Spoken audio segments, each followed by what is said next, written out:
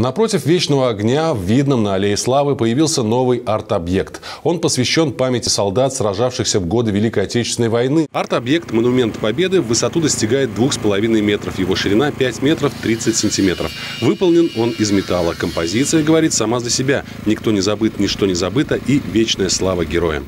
Всему нашему коллективу очень приятно, что мы внесли определенный вклад вот в это огромнейшее мероприятие, важное для всей нашей страны. Так как большинство на сегодняшний день соблюдает режим самоизоляции, оценить новый арт-объект смогли лишь жители ближайших домов. Важно и нужно, чтобы была память, и чтобы, по крайней мере, молодое поколение понимало, что когда что-то происходило. Помимо композиции к 75-летию Победы, на пути к храму жителей будет встречать арт-объект «Георгий Победоносец», который компания-подрядчик установит в ближайшее время. Композиция будет выполнена также из металла.